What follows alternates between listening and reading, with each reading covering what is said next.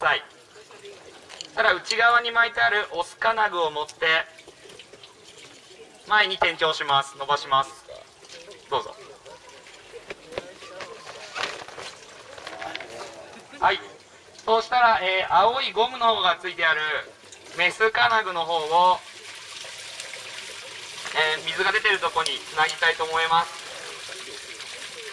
えーカチャンというまで持ち込んでつないでください。あもう一本伸ばした方がいいあ、じゃあすいません、もう一本伸ばします。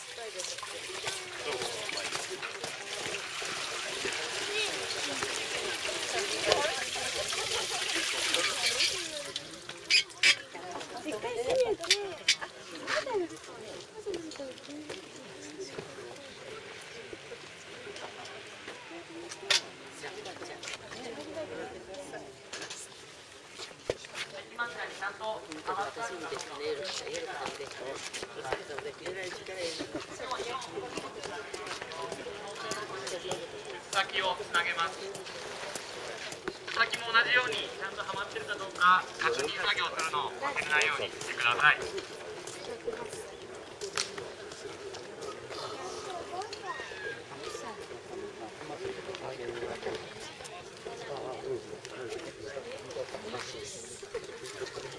そしたら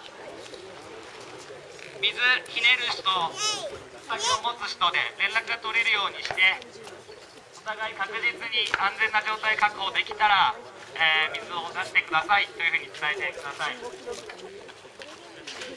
ゃあ放水始め。でこの時ひねると水が出ますので先は離さないようにちゃんと火元の方に向けて待っていてください。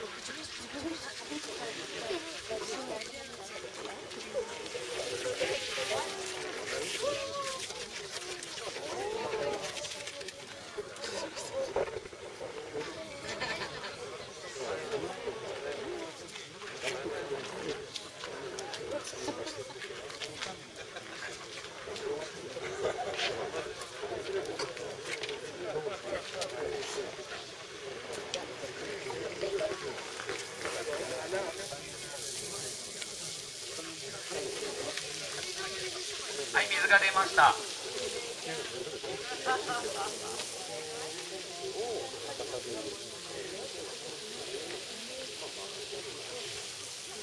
えじゃあこんな感じでもし火事があったらよろしくお願いします。以上です。